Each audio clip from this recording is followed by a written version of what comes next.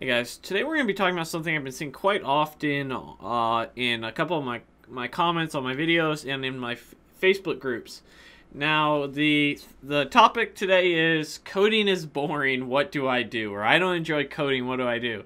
And it seems really prevalent that people are trying to force themselves to learn coding and they don't enjoy it. Or the other situation is they went to like a coding boot camp because they're smart people and they wanted to make a good decision uh, career wise where it could help them out and they understand that tech and software is very beneficial.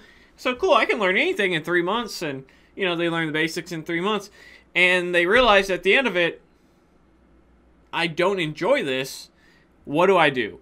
And your my answer may you know it's gonna be a long-winded answer, but in in the the gist, the TLDR version, as the kids would say, is do something else. Is my honest opinion. Um, now you have to be certain that you're just not burnt out. There's a difference between not enjoying it at all, just being burnt out, which is fine. I just did a video the day before, two days ago, about being burnt out.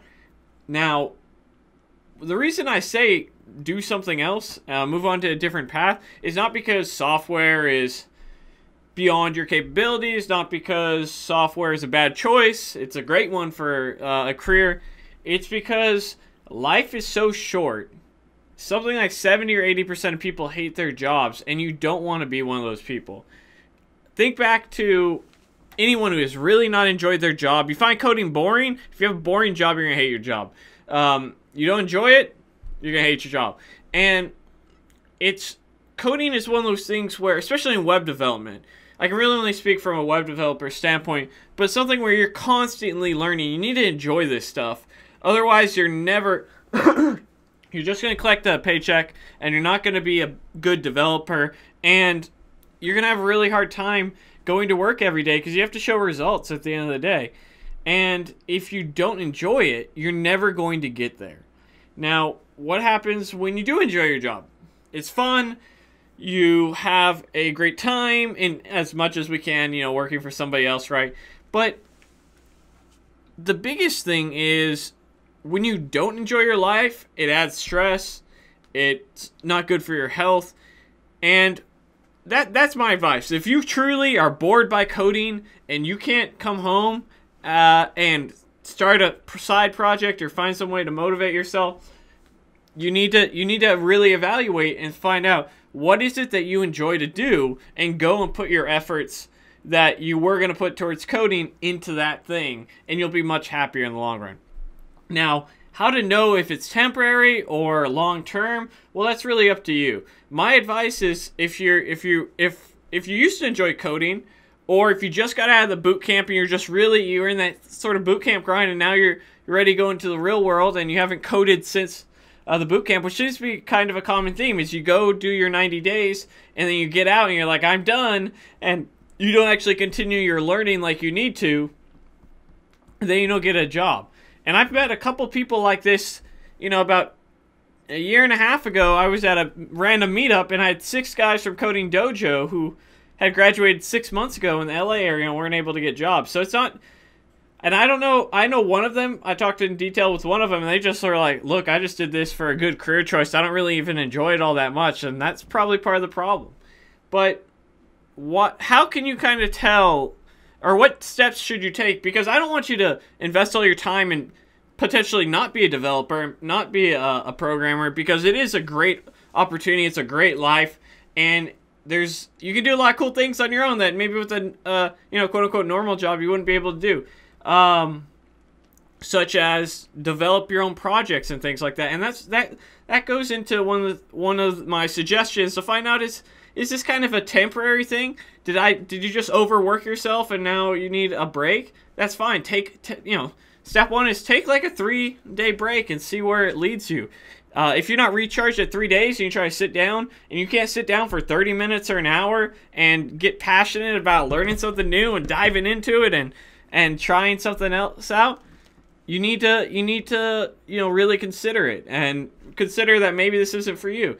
Um, try and the second thing is try something else. Like try something new. Like if you're a front end developer and you're getting burnt out on the front end, you're sick of JavaScript frameworks, jump into jump into the back end, jump into Node, jump into to Express, jump into the databases. Uh, if you're sick of databases, like uh, relational databases, jump into uh, NoSQL databases, document-based databases. Try something new, uh, software related, to give yourself sort of something fresh, something that maybe is less repetitive than what you've been doing. Uh, so that that's my first suggestion or second one, whatever it was. And the other the other thing is start your own project. I found that for me personally, the thing that keeps me interested is always having a new project because with your project you do whatever you want with it, right? Uh, my big project has always been my YouTube channel, and I I love the fact that at the end of the day it sinks or it sails based off of what I do. I don't have to I don't have to listen to somebody else and do what they want to do. I get to do all the things I want to do. If today I wanted to end my channel and I said, you know what, this used to be a coding channel and now it is officially a StarCraft channel, hey, it may work out, it may not work out, but that's my decision and I'll be happy with it, right? So, like, you need to find a project that works for you. And I, I think coding is one of the interesting things where you have the skill, if you have the skill set, right? Um, you can do a lot of interesting things where you can build something to show somebody, right? It's very almost artistic, right? Where tangible, where, hey, look what I built. This is my baby. This is what, and that's what I really enjoy about a YouTube channel as well. Is this is what I've built. Look at, look at, you know, look at all these awesome subscribers with all these interesting comments, sharing things, or Facebook groups and things like that. But that that's my biggest suggestion is, other than trying something new, taking a break, start your own project and start making something for yourself. And, you know, try and dive into it piece by piece by piece and really evaluate am I burnt out or do I really just not enjoy this? And if you don't enjoy it, I can't stress it enough.